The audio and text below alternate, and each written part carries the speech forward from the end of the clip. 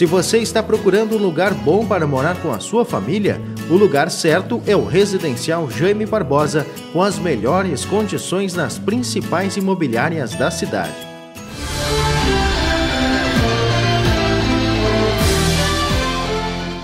Na manhã desta segunda-feira, dia 13, um clarão colorido no céu intrigou os gaúchos. O fenômeno foi visto por volta das seis e meia da manhã em várias cidades do Rio Grande do Sul. Segundo especialistas, são duas as possíveis explicações: lixo espacial ou meteoro. Segundo o diretor do Observatório Astronômico da URGS, não há como afirmar a olho nu se o clarão era um meteoro ou lixo espacial, visto que ambos geram os mesmos efeitos visuais na atmosfera. Alguns tapenses chegaram a entrar em contato com a nossa reportagem para relatar o ocorrido. Quer um transporte com segurança? Venha para Limatur Transporte Escolar, Fretes e Viagens.